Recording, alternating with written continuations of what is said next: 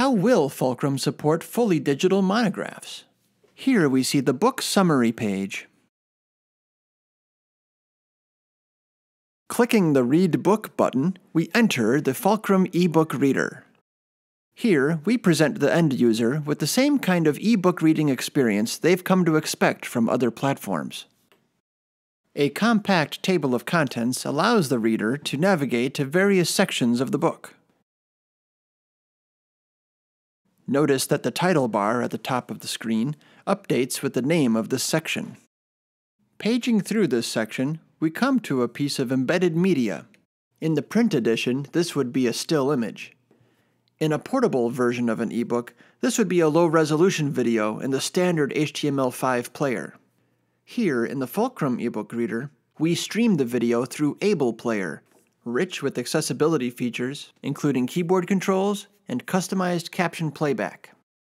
Users can link to the individual record for any media embedded in the ebook to view the full details for this piece of media, including usage statistics, with more details to appear here soon, and full technical information, and, where provided, a full transcript.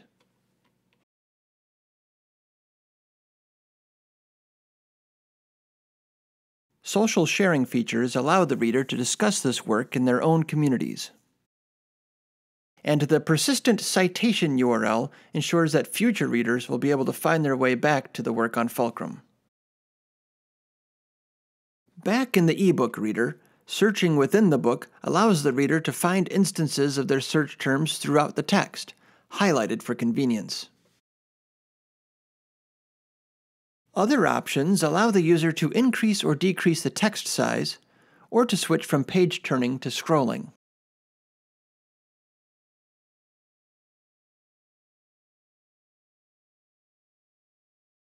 Here's an example of the IIIF image viewer allowing the user to zoom into the full resolution of a still image. Citations for the book can be generated in a number of common formats and automatically copied to the clipboard for use in other citation management tools.